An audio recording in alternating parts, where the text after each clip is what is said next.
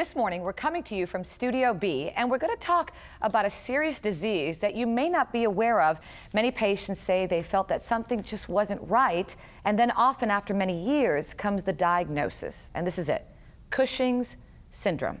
This morning, we take a closer look at this rare disorder in our ongoing series, Behind the Mystery Rare and Genetic Diseases. Joining me to discuss this are Dr. James Findling, Professor of Clinical Medicine, Director of Community Endocrine Services, Medical College of Wisconsin, and joining us for a close up and personal interview is Sarah Cook, and she's going to share her very special story. Good morning, Sarah. Good morning. Good morning, Doctor. Good morning. Thank you so much for being here.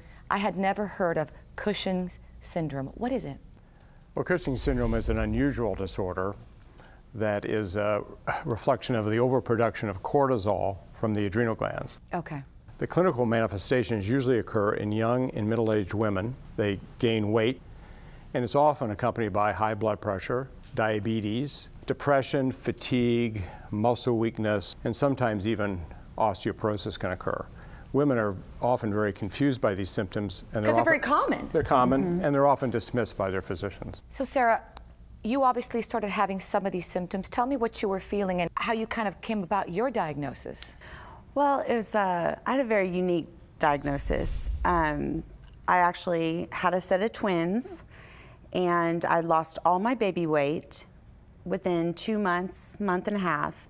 And then suddenly, I just felt just kind of sick one day. By the end of that week, I gained 10 pounds. And then the next week, another 10 pounds. All the while, I was, you know, running two, three miles a day. Living your everyday grilled life. Grilled chicken, broccoli diet, you know, just, it went on for months until it got up to over 200 pounds. And wow. my normal weight was 135, 140. Sarah, did you have other symptoms that you'd like to share with us? My blood pressure was through the roof, uncontrolled, really? no matter, you know, all the different medications I took. My blood sugars were high, and this is even on like a low sugar diet, just, you know, very healthy diet. I had purple stretch marks like all over my stomach. Um, my skin was real thin and fragile. Uh, whites in my eyes were really yellow, just very overall unhealthy looking. So And you're probably saying to yourself, what oh, is yeah. going we, on? I went to several doctors and um, I got everything from overeating to closet eating to you need to exercise more, it's just the baby weight. And I went straight to a, a doctor and I said, can you please give me an MRI, check me for a pituitary tumor and it came out behold. positive. So, so then I, you know, discovered the right doctors to go to, and over time I got it out, and so it was wonderful. Now, doctor, uh, uh obviously these are these are rare diseases that many many doctors maybe are not even aware of. It. It's kind of like a tricky diagnosis here, if you will. Most of the patients with Cushing's have a pituitary tumor. Not all. Some have adrenal tumors. So it really takes an, a skilled endocrinologist usually to establish the diagnosis and provide recommendations for the correct treatment. I really want to hear a lot more about this, especially what you've done to get better. So stay right there. Great information for us this morning. And coming up, you're going to hear more from Sarah. So stay with us.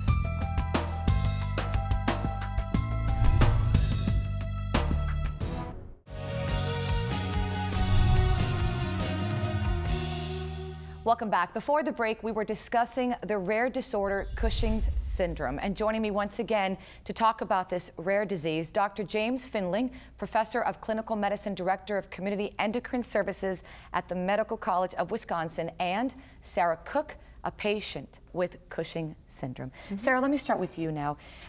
tell me just basically how it affected your life, how it impacted you when you when you realized you had this. Well, initially, before my surgery, I just had a newborn set of twins. Um, I was a first time mom. Congratulations, by Thank the way. Thank you. Um, for me, that was the hardest. Yeah. Uh, what I always imagined myself as a mother, trying to be a great mom, the best 100%. You just couldn't do 100% with how sick you felt. It was like my, my brain and my self-image couldn't keep up with the changing body, with the actual physical change. So that was like emotionally and psychologically Draining. it's very very hard as well just you know outside of just the physical changes And then not even to know why, for that matter. yes Doctor, when a patient comes to you and you see that they're suffering from this and you see what it's doing to them, what, what kind of lifestyle tips do you tell them to encourage them that they can get better? Well, I, I reassure them that there is treatment, effective treatment. And what are those? Primarily, surgery is the first treatment. Okay. Most of the patients either have a pituitary tumor or an adrenal tumor. Of course, we have to find the tumor and remove it. And about 80% of patients have a very good outcome after surgery. That's pretty good. That is very good. Those are good odds. Very good. But some do not and need additional therapies. Fortunately, we now have drugs available in the uh, development and the treatment of Cushing's syndrome, so we're very excited about this. Can you tell me what they are and are there any safety concerns behind them? One of the medications that we now use to treat Cushing's blocks the effect of cortisol. Okay. This helps the patient to look and feel better. However, it cannot be used during pregnancy or in any woman who is anticipating getting pregnant.